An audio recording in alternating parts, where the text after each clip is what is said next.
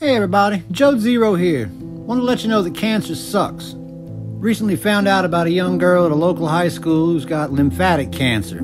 So they're having a car show and a fundraiser to try and help out with medical expenses. And I said, you know what? I'll help out.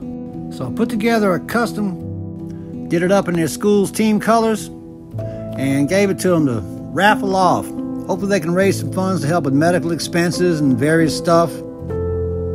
I'll leave a link in the description with information if you want to donate.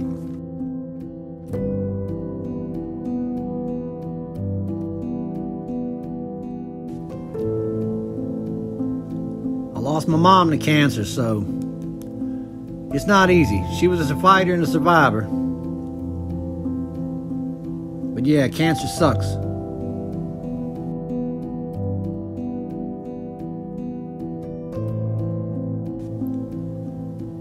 Thanks for watching, you guys. God bless. Check it out.